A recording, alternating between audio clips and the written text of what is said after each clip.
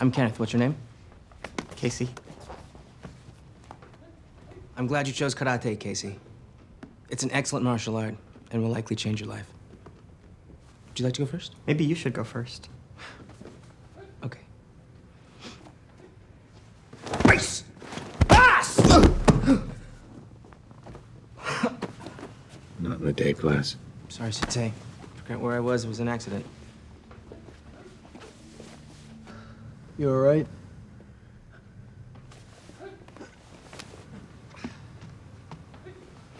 I'm really glad you're here.